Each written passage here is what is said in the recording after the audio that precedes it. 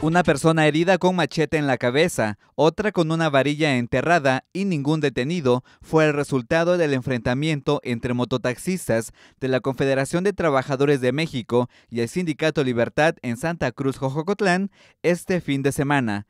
Gresca que inició cuando integrantes de la CTM, encabezados por René Hernández, intentaban colocar una base frente a la ENEPO de esta demarcación, hecho que molestó al grupo contrario e inició la quema de mototaxis, golpes, peleas, incluso disparos de armas de fuego. Lo anterior derivado de la irregularidad en la que operan gran parte de las unidades.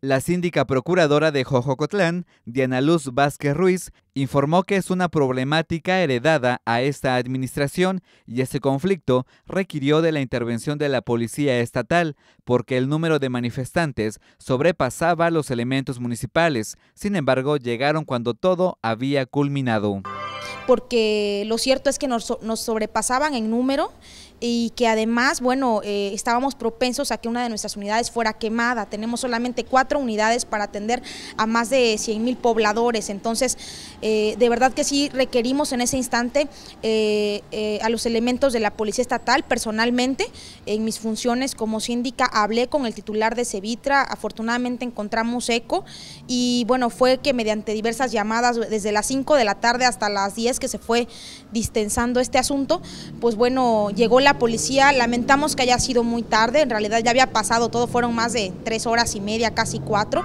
Detalló que tan solo en el año 2010 se contaba con un padrón de 936 unidades y para este 2015 se han rebasado las 1.200. Es por ello que urge un padrón claro y definido.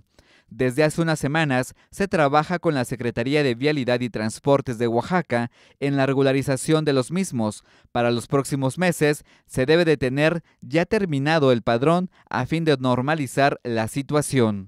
Y bueno, aquí la intención es que el diálogo y la concordia sean los elementos que privilegien eh, o, que, eh, o que impidan cualquier tipo de conflicto y la ciudadanía de Jojo se vea nuevamente afectada.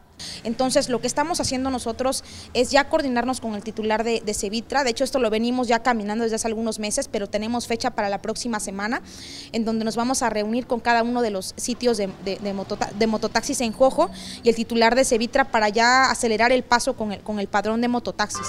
Con imágenes de camarógrafos para MBM Televisión, Celestino Chacón.